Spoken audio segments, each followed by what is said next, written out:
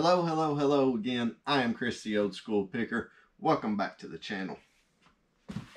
Inside this big box is some good profit. Stay tuned and I'll show you what I've sold.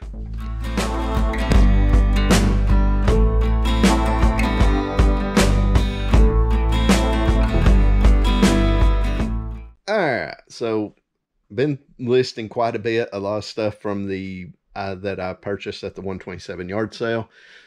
And sales have been going up. It's amazing what uh, listing every day will do for you. So if you're not selling, you should be listing.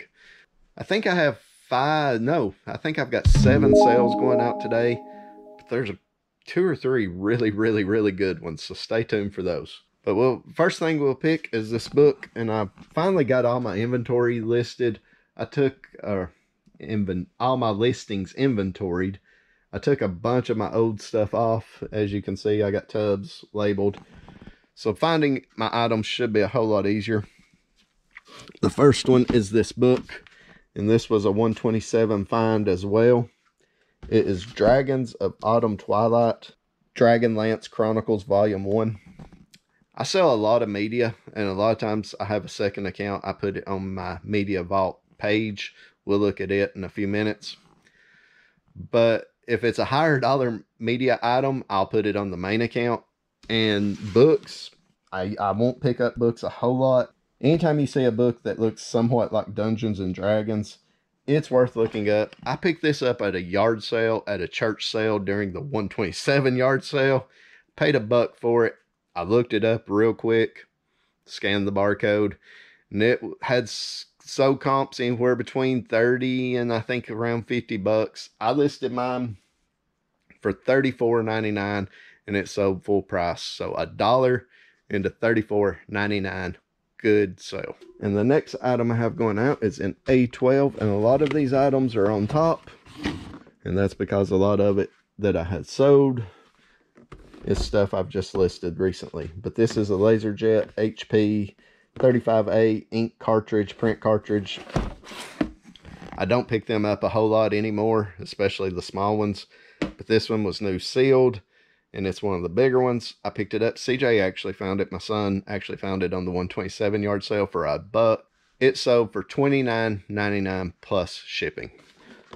So ink still sells, guys. Next item I have going out is this Woody from Toy Story. I believe it's from the original Toy Story, I believe. I can't remember. But it had the pull string. It's one of those. Unfortunately, it does not work. Of course, I listed that in my listing. It does have the holster, missing the hat. If you can find these complete, they're pretty decent money.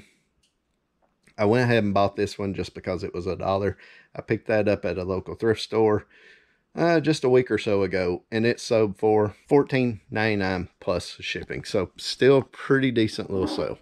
All right, next item I have going out is in B15. And that's where I keep a lot of my action figures. And this is some of the Johnny West stuff I've been listing. Uh, if you go back and watch one of my last videos, I talk about a bunch of the Johnny West figures and uh, accessories I bought. I listed some of the figures. I listed some of the figures the other day, um, and I listed some of the accessories too. I'm kind of listing them separate because it looked like complete. A lot of the figures just sold for like 60 and 70 bucks to where some of the accessories sold for 10 to 20 bucks on their own. So I'm doing the work and just listing them all separate. Well, that figure right there, I believe his name is Fighting Eagle. Uh, obviously, he is a Native American. I listed him. He sold within, I think, within 30 minutes of listing him. And he sold for $39.99 plus shipping. I only paid a hundred bucks for the whole box. And there's like six or eight figures in there. So 40 bucks for one figure. That's almost half my money back. So think that's going to be a really good deal. All right, next item I have going out, and it's it's almost as good as the big box. It's actually more money, but less profit. But anyways, it's really, really good. It's this nine-channel RCA remote or RC remote. It's um it's for model planes we ran up on a guy during the 127 yard sale who had like 10 of the big model planes, the RC planes in his yard. And I was like, there's no way I'm buying anything from this guy. He's a collector. He, after speaking to him, he was actually, he actually built a lot of the planes. But he had this receiver for 35 bucks. And upon looking at it, it looked brand new. I talked to him about it and he said, well, it has been opened, obviously, but I never used it. So I listed it just like what he said. I am taking a chance on it going off his word. I listed it high. I listed it for $250. I went back and forth with a, a buyer um, about it. And he was like, okay, what's the, he was asking a lot of questions about it. And I was like, you know, I don't know all the answers because I'm obviously not an expert RC planes. I was just honest with him and told him, you know, what the guy that I bought it from said. But the guy that bought it has 1800 feedback, so I don't expect any problems. Anyways, I listed it for $250. He said, What's the best you'll take on it? I was like, You know what? I've only had it for like a week, but I will take $230 for it. And it sold. He bought it. So $229.99 plus shipping. So basically, I gave him his shipping for free only had $30 in it. So he wanted 35. I offered him 30. He took it. So 30 into 230, pretty good profit. Good sale. If you see these, pick them up if they're cheap. I went to a yard sale not too long ago. It was actually when I was still staying with family before we bought our house. And they had this in in their yard sale. Now what's in this box?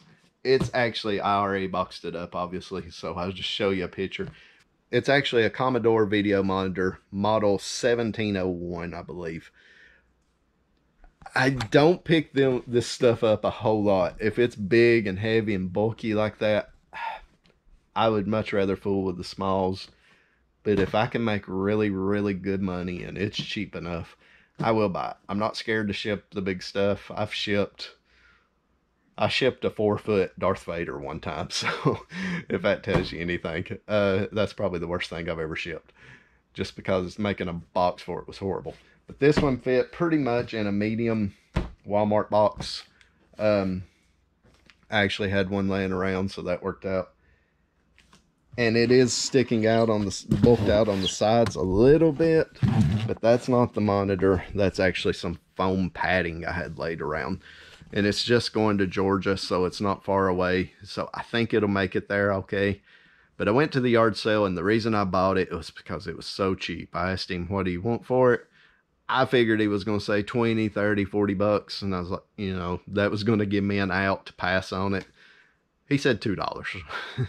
so when he said $2, I was like, you know what? I've got to buy it because I didn't know what it was worth when I bought it, but I figured it was worth somewhere between 50 and 100 bucks. Got it home, got to looking.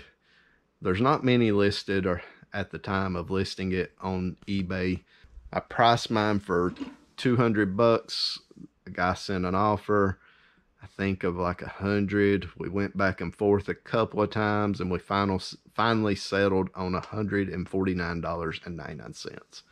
So $2 into 150 that's worth fooling with. Um, I only had it listed a few weeks. I, I've had it for a while. I've had it for a couple of months, but when I was living living with family, I wasn't listing a whole lot. So it's actually one of the first things I listed when we got in our new house. So because it was big and bulky and I wanted to get it out of here. So it only was listed for a few weeks. So two dollars into a hundred and fifty and only listed for a few weeks. Yeah, I need to start looking at bigger stuff like that more often, and I will now that we're settled. But that was a good sale. All right, and the last sale I have going out today is two CDs from the Media Vault page. I bought recently bought a lot of classical opera type CDs. I bought a huge lot of them probably over 300 CDs. Uh, you can see I have quite a few of them listed so far, probably 30 or 40 but I have this box full Uh, there's more. This box is full. This box is full. Yeah, I've got a bunch of them to list. I've still got somewhat of a mess in here, by the way. But it's getting better. But anyways, those two CDs sold to the same person for $5.99 each. So $11.98 total order. And I did combine his shipping. So, but I do charge shipping. So $11.98 plus shipping. So I paid 80 bucks, I think, which was probably looking back at it now way too much for them. But I don't know. I th- I'll do good with it. It's just a lot of work. That's one buy I have bought recently that I wish I hadn't. If I've been making some really good pickups, that one will pay off. But man, it's a lot of work to just list those five and six dollar CDs. Although I did list some for 15 20 dollar range, and I have sold.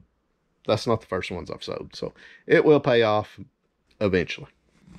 I'm going to cut this video off now and get to shipping these things. It's late, later in the day. I need to already be at the post office. Thanks so much for watching. Check out my yard sale video I have coming up Friday. It's about the 127 meetup with all the other resellers. Please check it out. Remember to comment, like, and subscribe to this video. Give me a thumbs up. I would appreciate it.